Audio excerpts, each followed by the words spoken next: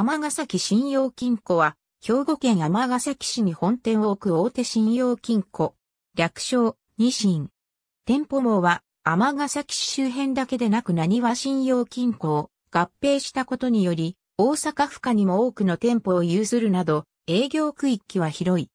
また、総預金残高は2兆円を超える兵庫県下最大の信用金庫であり、兵庫県に本店を置く金融機関としては、港銀行に次ぐ規模を有する。二新博物館と世界の貯金箱博物館という二つの企業博物館を持っている。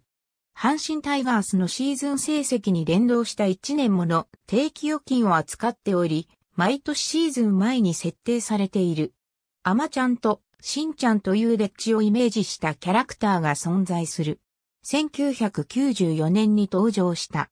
キャラクターデザインは、尼崎市出身で、落第忍者乱太郎の作者として知られる、漫画家の天子総兵衛である。なお、しんちゃんは、信用金庫統一キャラクターのしんちゃんとは異なる。二人が活躍するアニメ CM は、兵庫県の地元局3テレビと毎日放送などの在阪準キー局で放送されている。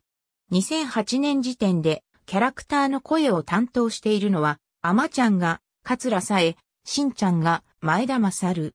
二人の登場とともに放送開始された、アマシン僕らの貯金箱のキャッチコピーを含んだ CM ソングは、尼崎市民の間では有名である。